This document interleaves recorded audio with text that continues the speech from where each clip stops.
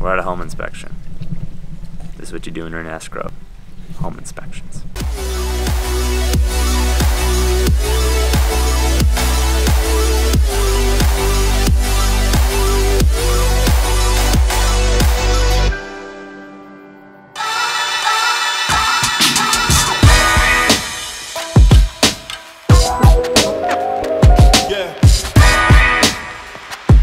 Yeah.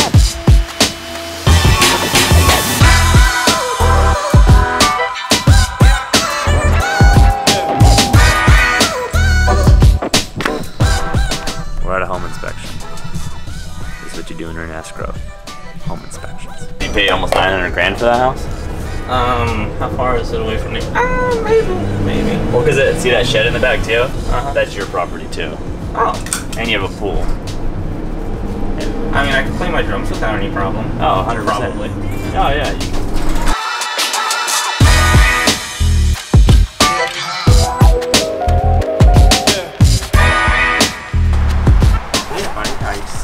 Give keys to the house all the time. Just, uh, just met them. They have keys from the house.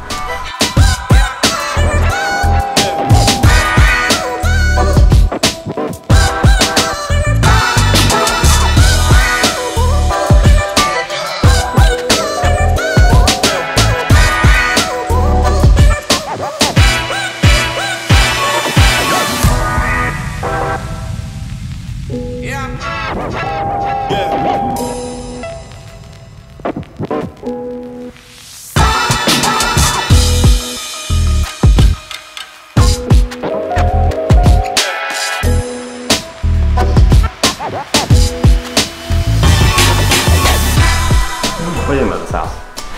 I think it's definitely haunted.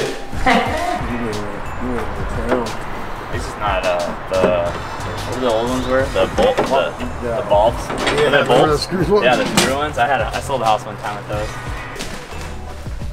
The trick to this house is not is making the minimal holes you gotta make. Yeah, you don't want to put too many So I mean, to, once we get up in, there's got attic space up there too. So once we get in, we might have to poke one hole there to bring, it- you know, bring it down. Yeah. New wire. Exactly. There's nothing that's not. No, you no. can't move in, No.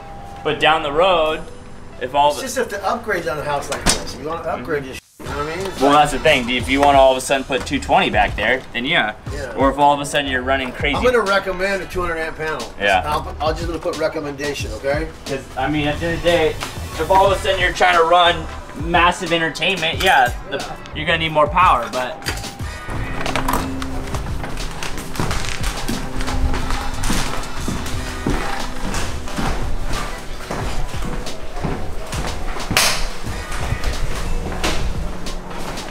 I mean, it's one of two things. Either we left the door open, Oh, there's a or we ghost. closed it, and, the there's a ghost. there. There's a ghost in here. Yeah. You know what? You know what I see? I see what you're doing.